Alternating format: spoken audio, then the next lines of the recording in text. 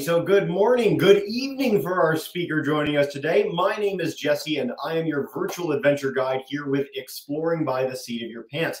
Welcome in in our second big week of broadcast. I know we've got a lot of new students joining us today. And so if you are new to what we do, we are all about bringing conservation, adventure, and science into classrooms around the world. Last year, we did over 500 broadcasts, and this year we're well on track to do the same. But every single year, there is an event early on in September, early on as we sort of shake the jitters off of summer. That is one of my very favorite programs to take part in, and that is World Rhino Day, which you guys are lucky enough to be here with us on today as we kick off a series of three incredible broadcasts with conservationists, amazing speakers, and from cool places around the globe.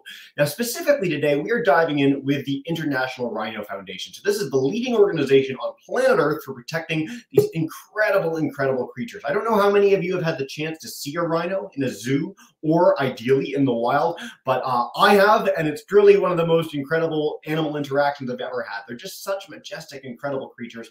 And today specifically, we are going to dive in in with a really unknown one for a lot of our students. A lot of you will be familiar with our African rhinos. Well, today we are kicking off in Indonesia with Rudi Putra, who is a a hero of conservation. This is a person who spent his entire life uh, dedicated to working with communities to save wild species, save wild habitats in one of the most biodiverse and amazing places on this planet, Sumatra in Indonesia. And so, without further ado, I'm going to turn it over to Rudi Putra joining us today uh, to dive in with a little bit about his work and the work of the International Rhino Foundation to save the Sumatran rhinoceros. So, Rudi, thank you so much for being with us today and uh, take us away. Unmute your mic and you're good to go.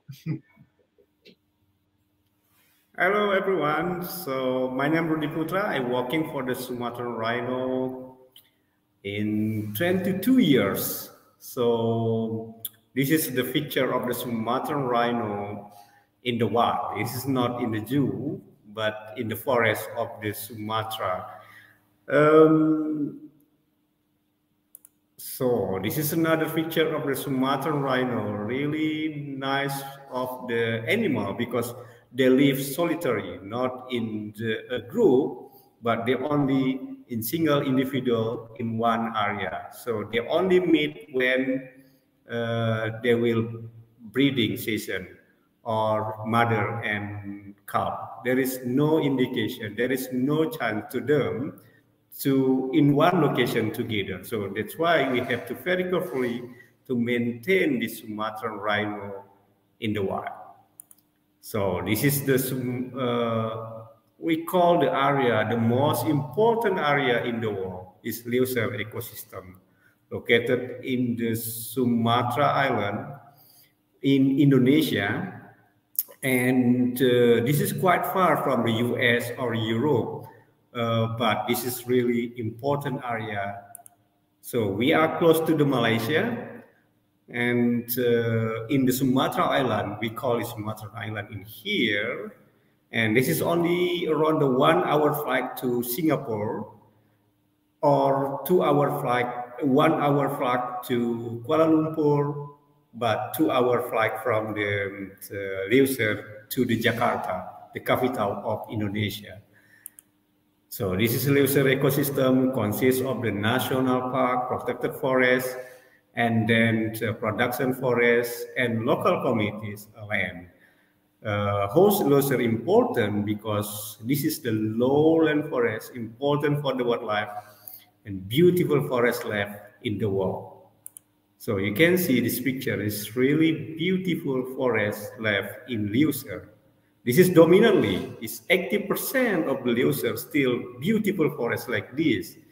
So like this. This is picture also beautiful. And so that's why we need to protect this uh, forest and the animal, especially for the Sumatran rhino. We developed the team for the protection. We call it wildlife protection team. So this is the NGOs working together, led by the Indonesian government team to protect the uh, the leuser and also the especially for the rhino in the wild. So this is our team. This is mix between government and uh, our team, uh, Leuser Conservation Forum. And they have to cross the river. Sometimes dangerous, but we are happy because we can um, swimming in the river or fishing in the river or uh, just trekking. This is like uh, our job, our work, uh, like a hobby.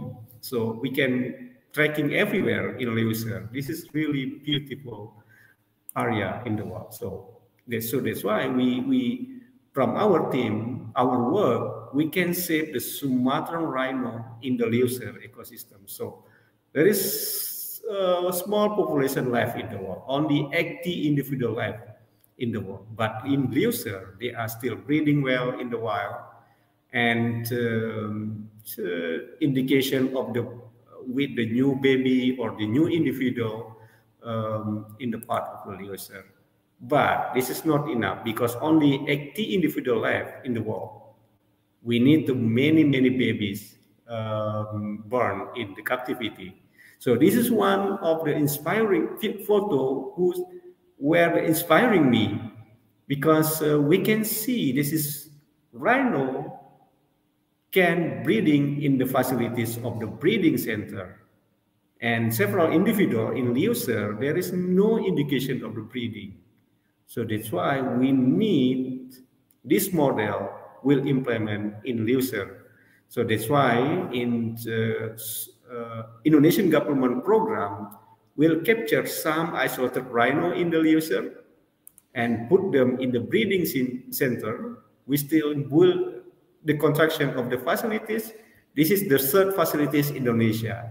One in Way Kambas National Park, very success uh, to make to, to to organize the facilities for the breeding center, and this is supported by the International Rhino Foundation, and three babies are born in this facility. So we need this model will implement in Leuser. So we're working with the government and also with the private sectors and the donors to build the facilities in the Leuser. And this is the model for the facilities, the design for the facilities. We will put the one rhino in the one paddock in, the, in this area. So this is total five rhino in here, and they will breeding in the center of area to make uh, uh, because they cannot we cannot mix, mix uh, between male and female and we hope this rhino will burn in the Leuser ecosystem in the facilities of rhino and in the future we will we will um, we will release them back to the forest to the wild to make the the new population of the Sumatran rhino. And we optimists we will success and we will have the good population of the Sumatran rhino. And we optimists in next many years maybe 100 years or less or more we will have the 1000 or 2000 of the baby uh, Sumatran rhino born in uh, in the Leuser or Indonesia and we will save the Sumatran rhino from the extinction. So we still have a hope, a big hope, and we optimists because we're working together. When we're working together, we have a dream, and then we we will implement our dream to make this uh, happen uh, in the conservation of the Sumatran rhino. So rhino needs your help, need our help together, and of course, I'm optimist. We will save the rhino. Thank you. Thank you, Rudi. And you have good reason to be such an optimist because you're leading the charge. You've had the chance to see this for over 20 years now uh, take place and, and, sort of come to fruition. You've been able to work with communities to sort of change people's understanding and habits around these rhinos in these habitats. You've helped protect, uh, stop people from poaching rhinos, which we'll, we'll get to in a little bit about some of the threats that rhinos face.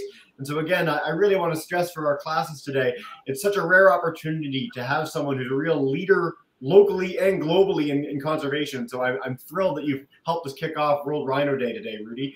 Uh, you you were so uh, effusive in your praise about uh, rhinos being born at the center, and so I want to share a little bit of this. You guys had this beautiful video of Rosa's first calf that I'm going to bring up for everybody now, and you guys can get a sense uh, with us about just how incredibly cute uh, these animals are. So this is a, a bit of a illustration of the team behind helping bring a baby Sumatran rhino into the world.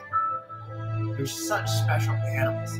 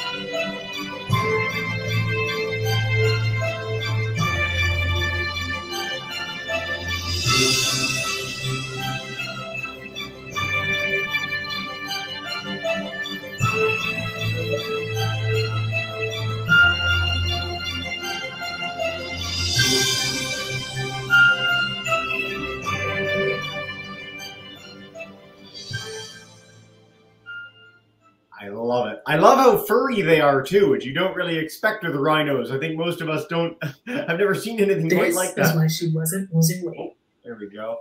Uh, fantastic. Rudi, I, I want to ask a question before we dive in with our live classes. We've got our classes live with us. We've got quite a few on YouTube as well.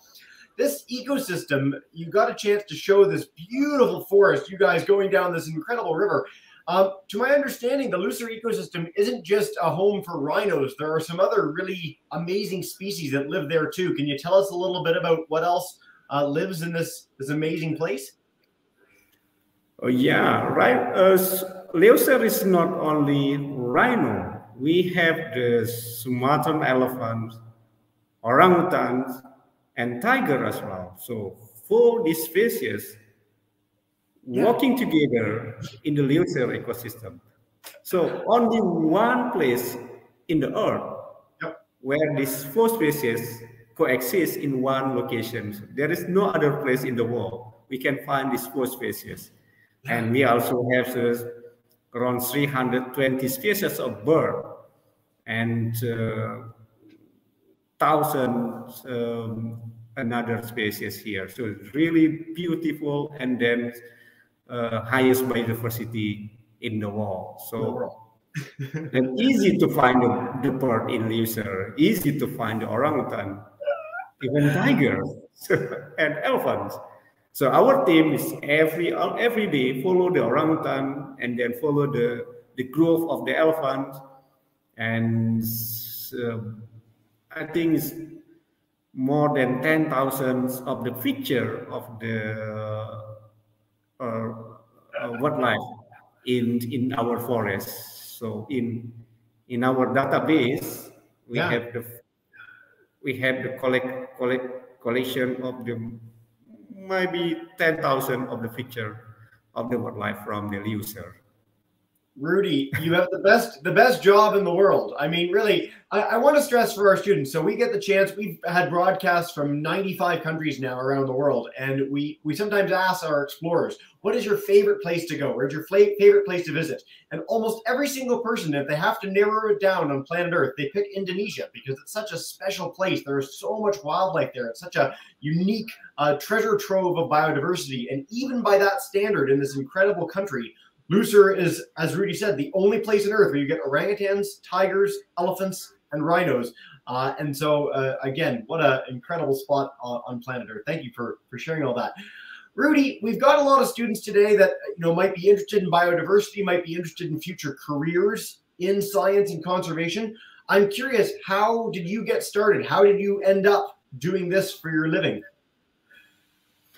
Um, so I'm living close to the Leuser area, and we have a very nice river, clean river in that time. So every day, I'm we are as a kid swimming in in the river, and this is like uh, two hours And so when I was uh, a student, I know this is river good because our forest in Leuser ecosystem still maintained very well.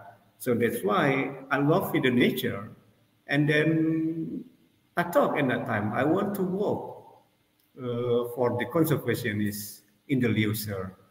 And Leuser is really beautiful. I love in the morning uh, see the beautiful of mountain in Leuser, and I love that. So um, after my study in university, I'm lucky because uh, there is the um, institution uh, yeah.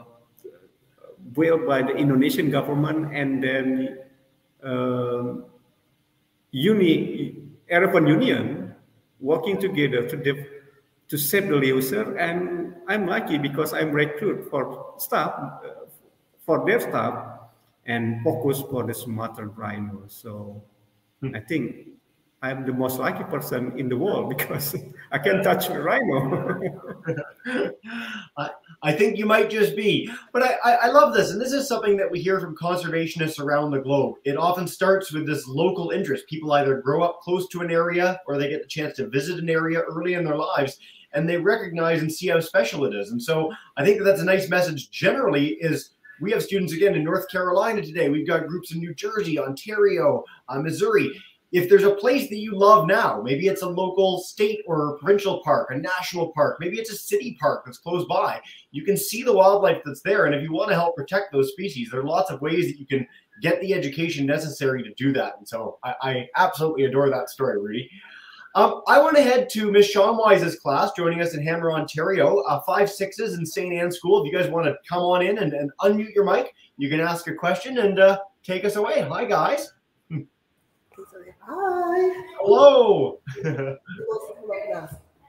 Gianna, come on up.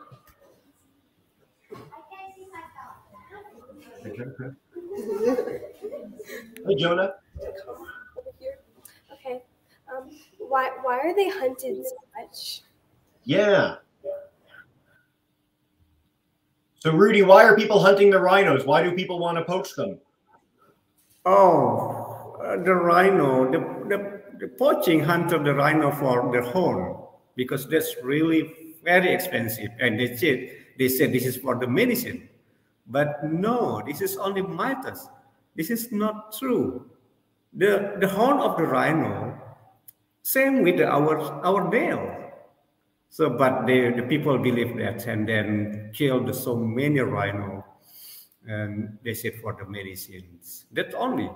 And this is very sad. How why we kill the animal? This is beautiful animal only for the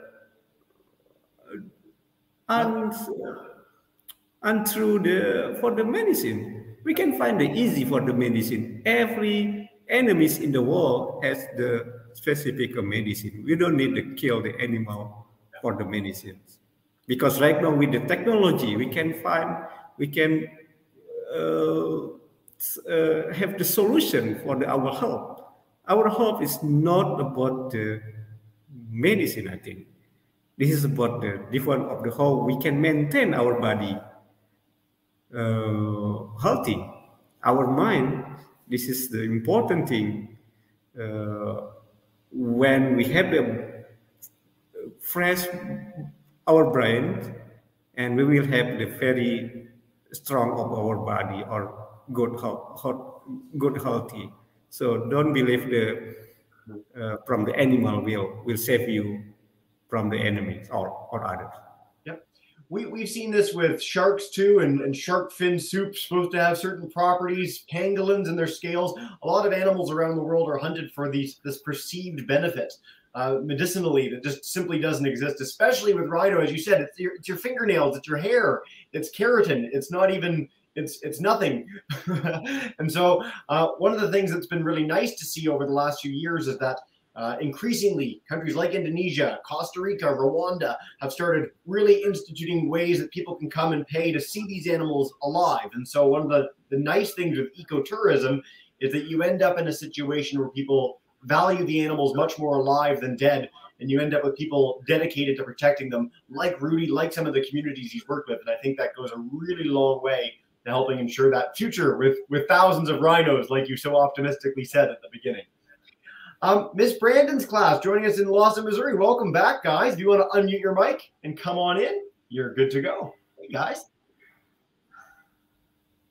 Hi. The whole football team's here. It's very exciting. Unmute. then we can hear you. Yeah.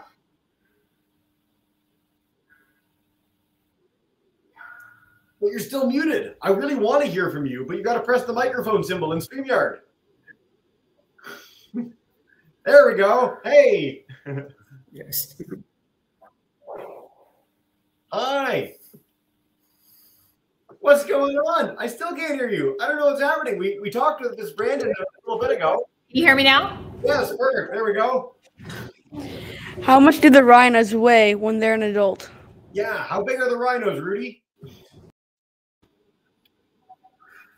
Um, so the Sumatran rhino is really small. This is only one and a half meters uh, tall, and this is around uh, less than two meters length. So this is the smallest rhino in the world. It's not like an African rhino. This is very big of rhino there. Sumatran is really small. This is the character of the uh, the animal in Sumatra um, they are smaller than another area in, in the world. Yeah. And how heavy do they get? How much do they weigh? It's around, uh, can be 600 kilograms until to 800 kilograms. Yeah. Yeah. So But they're fairly small. another- They're really Um, but another subspecies in, in Borneo, they are Yeah. smaller than in Sumatra. It's only uh, 300 kilograms to 400. wow. Yeah. It's like a Like cute a- little. Yeah, I think like a like a cow or like a buffalo. Yeah. Very cool. I, I love that you touched upon this thing that I, I I always want to highlight for students. On islands specifically, you get creatures that either get bigger or smaller in size quite regularly. So mammals like us tend to get a lot smaller. In fact, when we found a human species on Indonesia that used to exist called uh, the Flores people or, or the hobbits as, as sometimes they've been called, uh, much smaller people. You ended up with smaller elephants, smaller rhinos, whereas reptiles tend to get a lot bigger. So you get bigger snakes, you get bigger lizards. It's really quite fascinating how when things end up on islands, they evolve and change these really unique directions. Um, thank you to Chris, uh, International Rhino Foundation, uh, sharing a rhino chart in the chat bar for anyone who wants to highlight that. And I'll put that up on YouTube as well for everybody. So, Rudi, I, I wanted to ask about re-releasing the rhinos. You you had Rosa give birth to this calf. How long do you hope to have the calf before you release it into the wild? Is there a, a set plan for that, or are you waiting? So, um, so the rhino it's difficult to breed the rhino. So, it's one baby can burn every four years Wow. from the one one male, one uh, one female. Um, so uh, we had the planning to to release the rhino, but after they have the enough of the pop, uh, individual, so we cannot release the rhino if only less than 15 individual.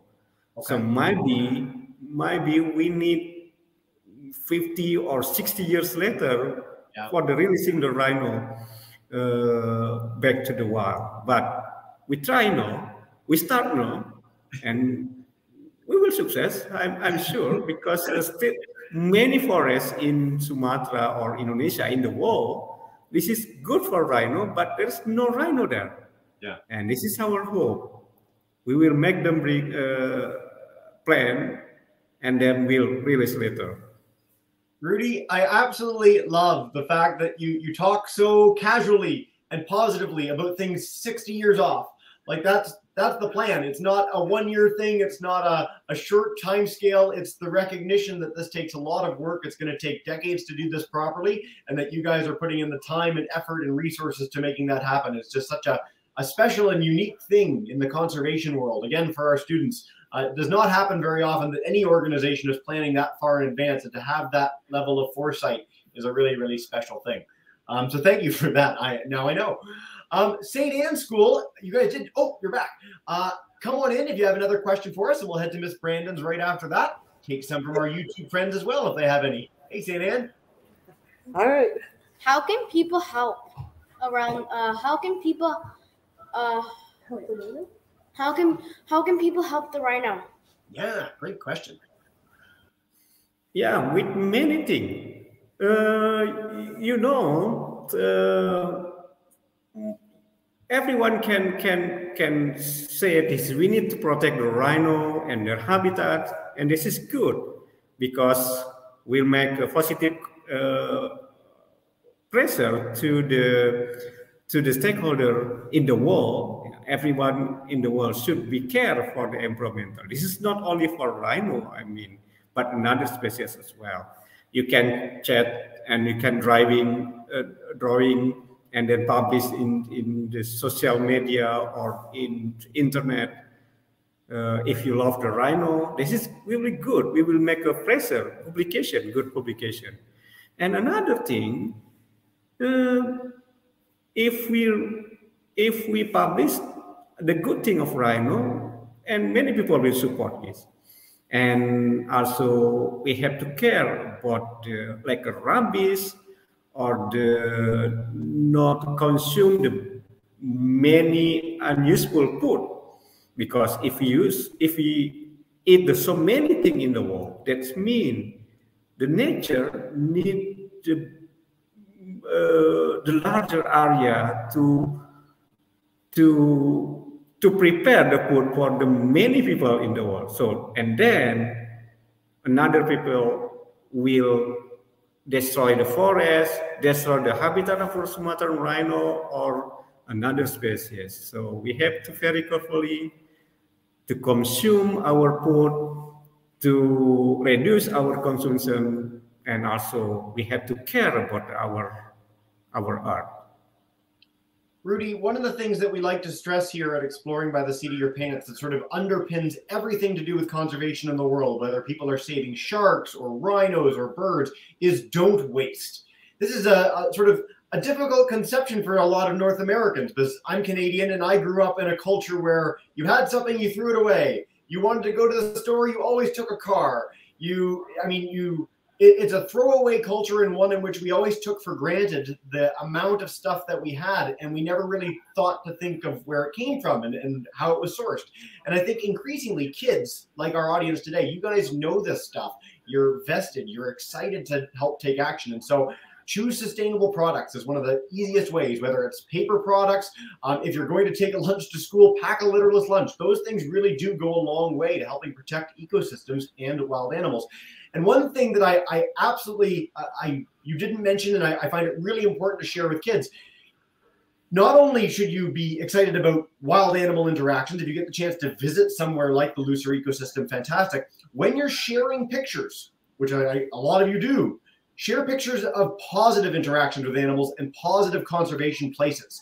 So if you see a picture of someone riding a rhino, that's not something that happens in the wild. That's not a natural thing that's going to happen. And so sharing those pictures makes people more likely to want to do those behaviors because they think that it's an incentive to do so.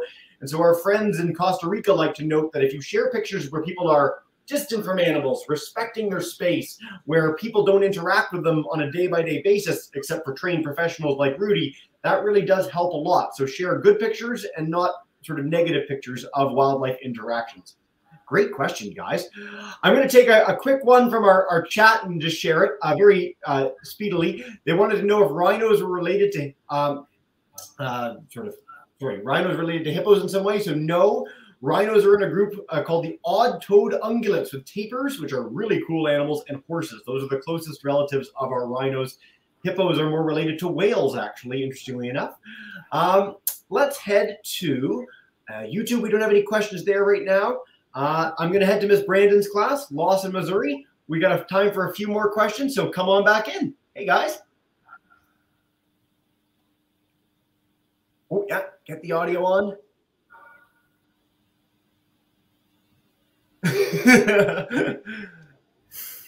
nope, you're muted. It's the other thing you pressed.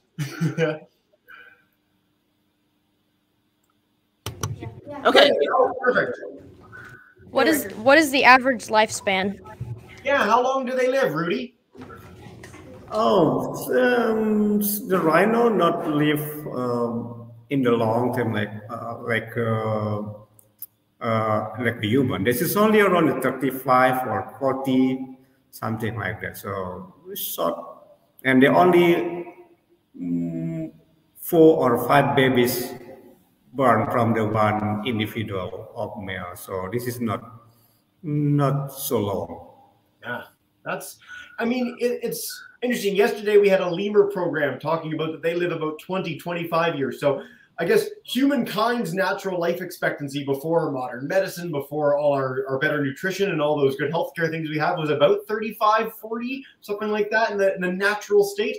Uh, but still, a pretty short lifespan with very few babies to perpetuate the population. And I, I think, again, this is an important note for rhinos. They're not having 70 babies, they're having four in a lifetime. So it really, it really matters to when you have a birth to protect that offspring to make sure it lives and, and grows up and has a healthy sort of lifespan. So I'm really glad we got that question.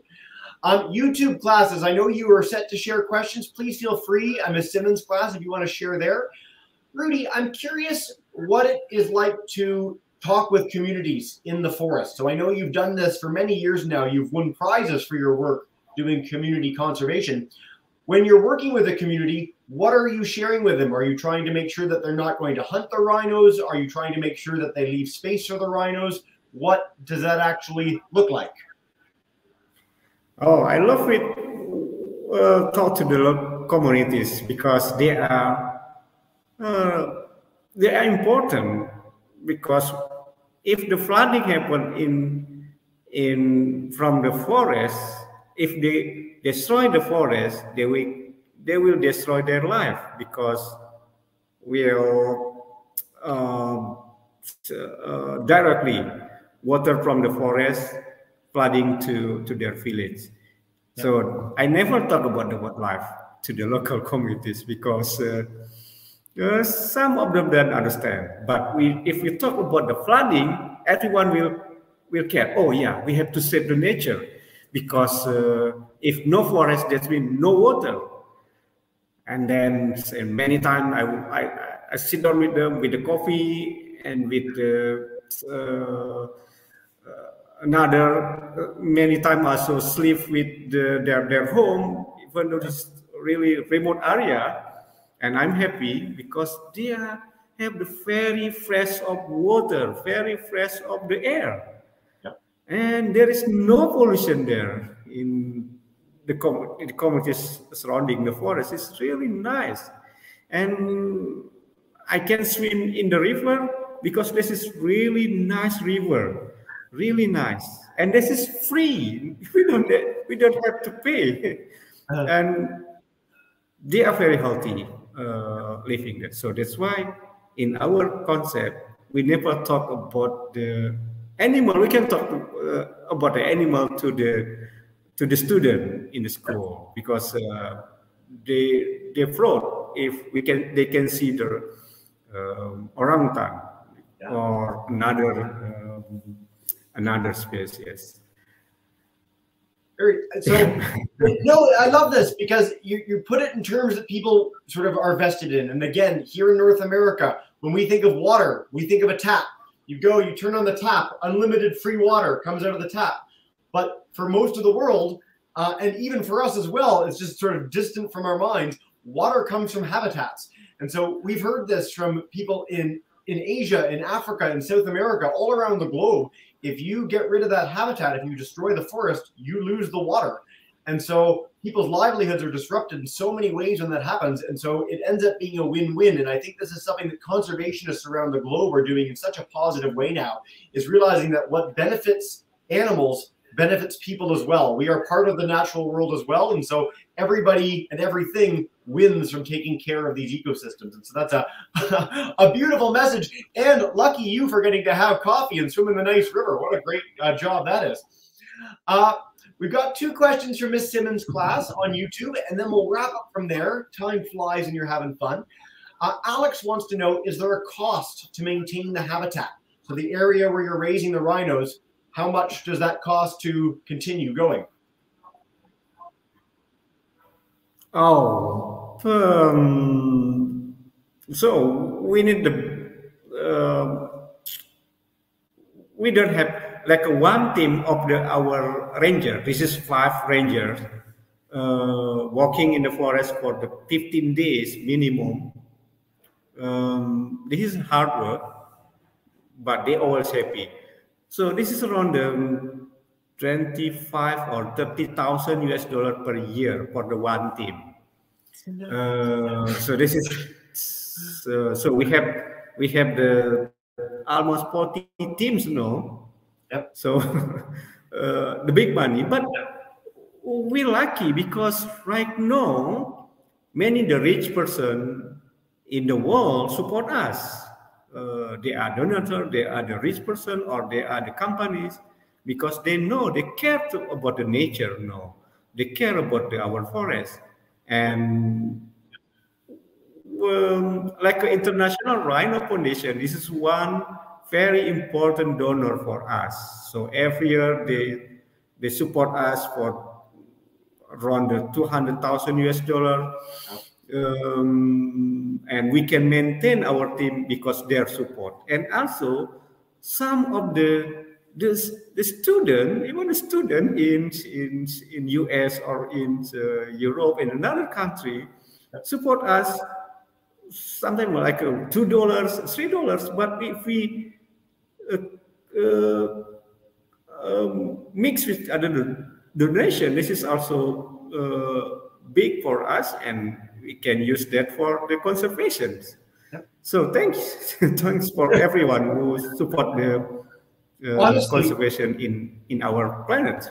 I, I absolutely I think this is a really important message. And again, we love the opportunity to bring these programs for free to classes, but we do note that if you guys are ever keen to help support the organizations that Rudi works with, uh, International Rhino Foundation, I mean, our a small amount of money really does go a long way to some of these organizations. I think over our last seven years, exploring by the seat of your pants classrooms have raised fifteen thousand dollars for conservation around the globe, and so we're always thrilled when classes take upon the mantle to do this.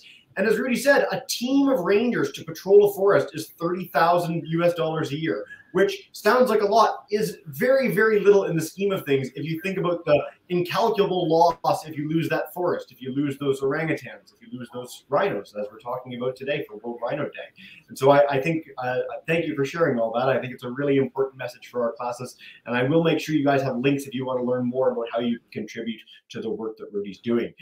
Uh, so a final question, I think this is an important one, and I I think a lot of students feel this way about conservation now in general. Robert wants to know, is there a danger to conservationists working there? Is there a danger to you doing the work that you do um, on a day-by-day basis?